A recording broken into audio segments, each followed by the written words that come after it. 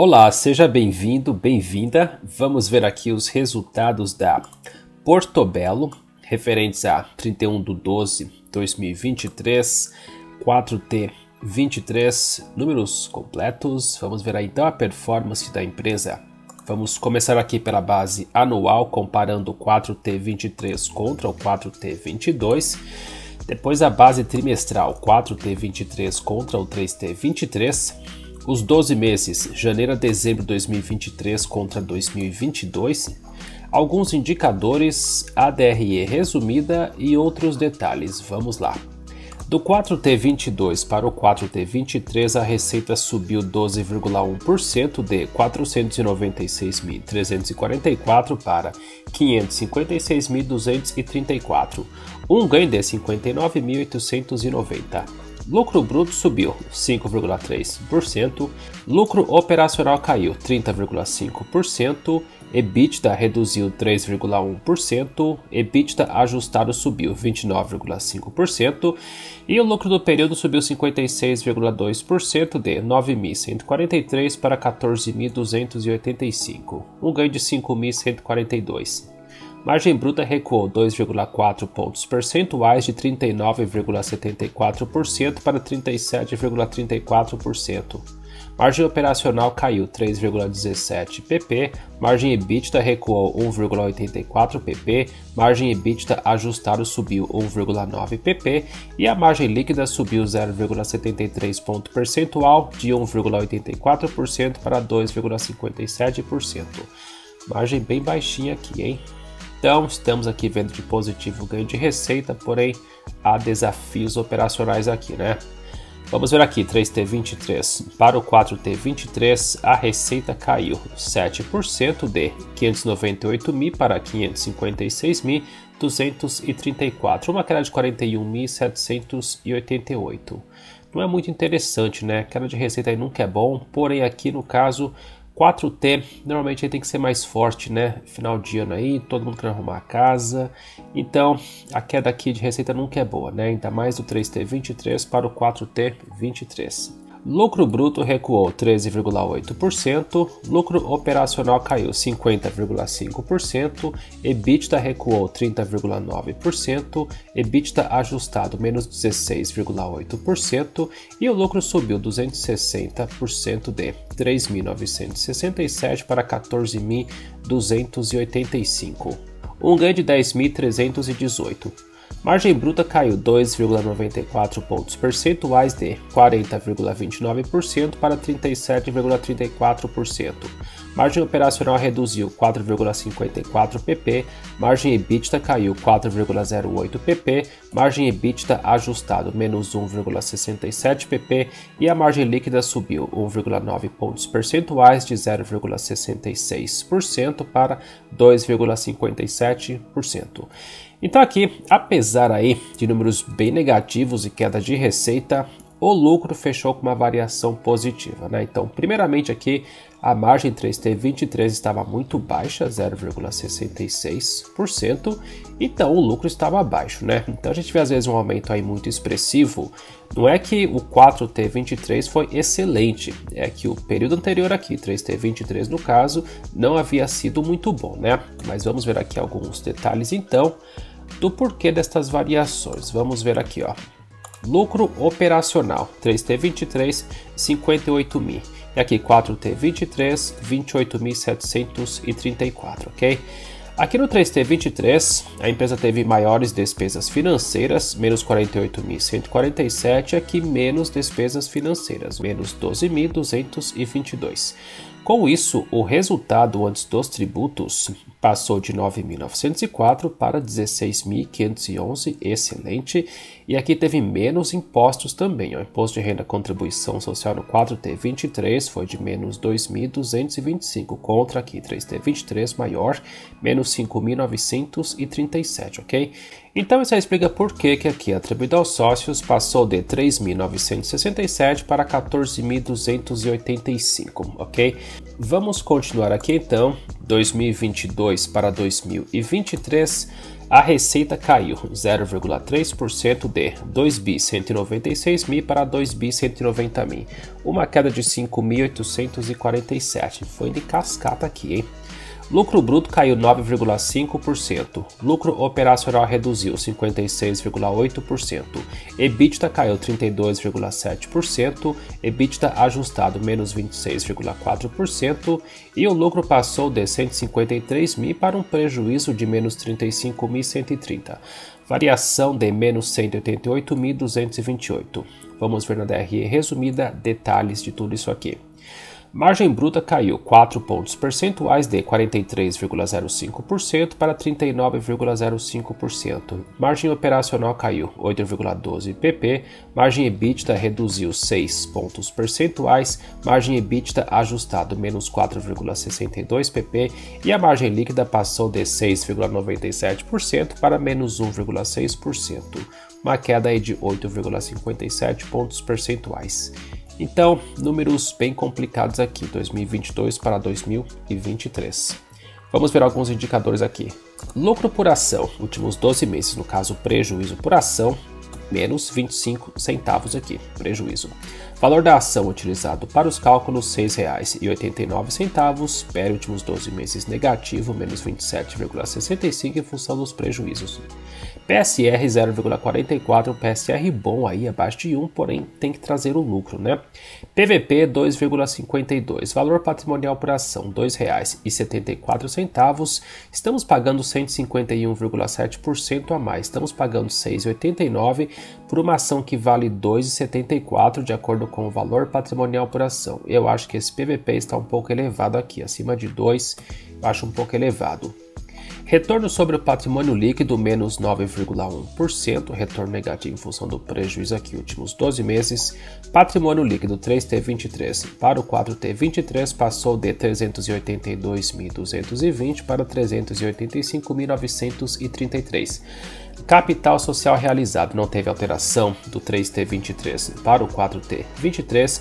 Número de ações permanece o mesmo, valor de mercado 971.400 mil, dividendos últimos 12 meses 3%, resultado financeiro líquido negativo no trimestre menos 12.222 e possui um prejuízo acumulado de menos 33.911. A alavancagem está um pouco elevada aqui, hein?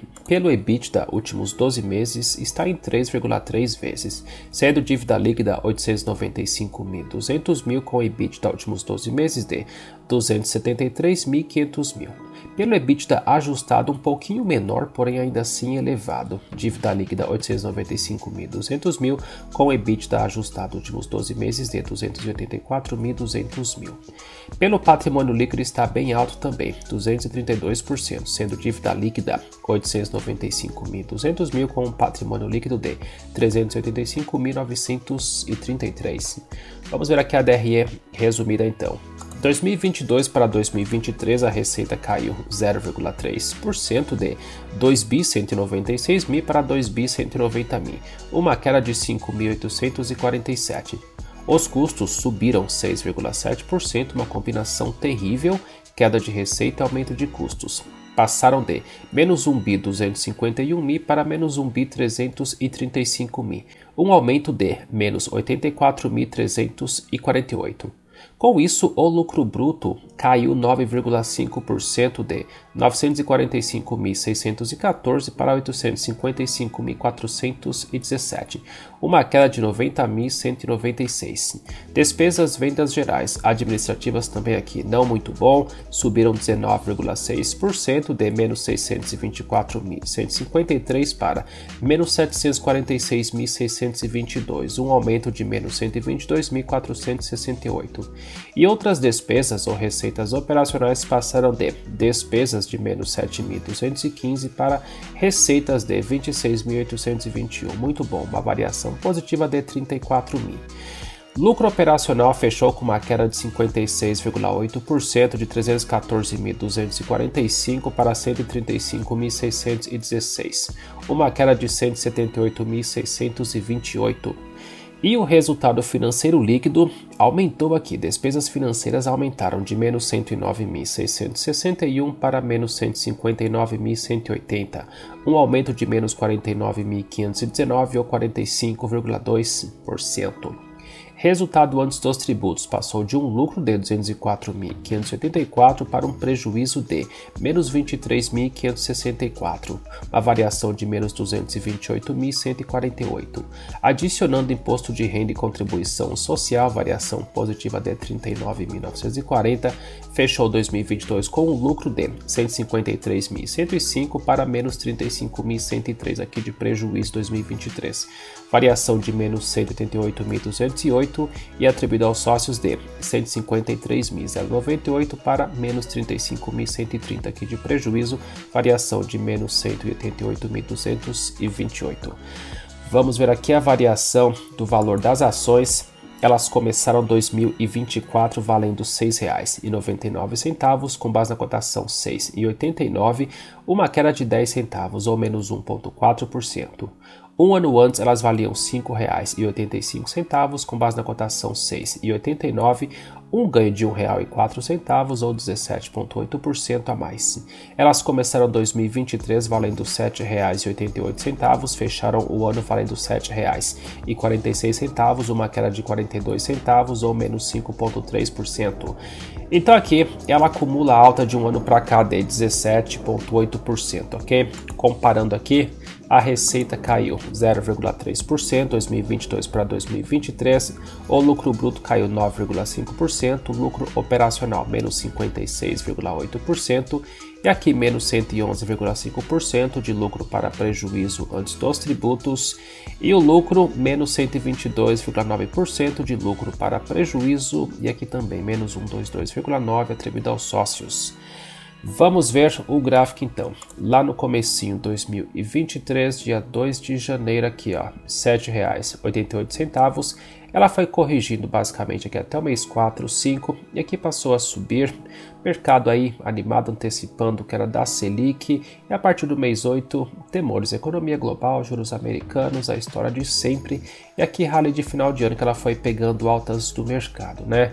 Então os números precisam colaborar também. Tem um longo caminho pela frente, a gente uma montanha aqui em 2021 lá batendo os 20 reais então, foi uma euforia do mercado isso aqui, né? Com a Selic subindo, as ações subindo, não somente da Porto Belo aqui, mas ações aí, o mercado em geral, né? E a Selic aumentando, então veio correção aí. Então, o mercado agora buscando aí se animar um pouquinho com a queda da Selic, né? Que aí ajuda as empresas a desalavancarem, né?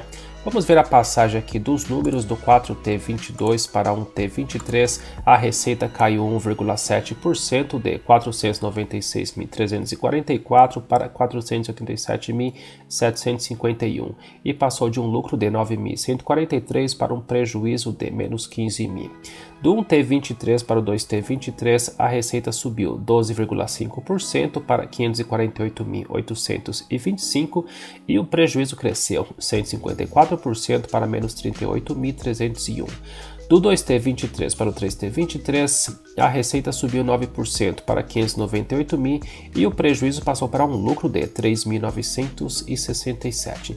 E aqui do 3T23 para o 4T23, observamos já os resultados, um fator positivo aí, apesar de o ano não ter sido bom, um ponto positivo é que do 3T23 para o 4T23 e aqui do 2T23 para o 3T23 já havia melhorado, né? Porém, a queda de receita aqui no 4T23 em relação ao 3T23 é um ponto de observação, ok? Tem um certo progresso aí, mas a receita não pode cair, hein? Vamos ver os semestres aqui então. Do 1S 2023 para 2S 2023, a receita subiu 11,4% de 1 bi 036 para 1 bi 154 mil. E o prejuízo aqui de menos 53.382 virou um lucro de 18.252. Excelente, muito bom, uma empresa muito querida, queremos a recuperação aí. Do 2S 2022 para o 2S 2023, a receita passou de 1 bi 094 para 1 bi 154 mil e o lucro de 61.641 para 18.252. Do 1S 2022 para 1S 2023, a receita caiu de 1 bi 102 mil para 1 bi 036 e o lucro de 91.457 para um prejuízo de menos 53.382. Então, observando aqui o gráfico por semestres, estamos vendo uma possível retomada aí, né? Por semestre aqui, a receita subiu, ganhou um lucro aqui, né? Saiu do prejuízo para um lucro. Então, o gráfico está melhorando aqui, observando por semestres, né? Vamos ficar na torcida. E aqui 2021, 22, 2023, observamos que de 2021 para 2022 a receita subiu 14,9% de 1 bi 912 mil para 2 bi 196 mil e o lucro de 216.172 caiu para 153 mil, a margem de 11,3% para 7%. E aqui já observamos 2022 para 2023, queda de receita, o lucro passou aí para um prejuízo Tivemos aqui queda de receita, aumento de custos, aumento de despesas aqui também. E o resultado financeiro líquido, né? mais despesas financeiras também aqui. A alavancagem também precisa ser monitorada. Então, há desafios, né? Vimos aí um certo progresso aqui na base anual e há uns pontos aqui, né, de melhoria aqui, 3T23 para o 4T23, não foi muito legal. Porém, vimos aí alguns pontos mais interessantes aqui, observando por semestres, né? O 2S23 aqui foi melhor do que um S 2023, então vamos ficar na torcida para a empresa se recuperar, uma empresa muito querida aí, vamos torcer, ok? Porém, sempre de olho nos números, né? Indicadores e tudo mais. É isso que eu tenho para dizer em relação à empresa. Muito obrigado por sua atenção. Desejo muita boa sorte para você, sucesso para todos, sucesso para a empresa e até a próxima.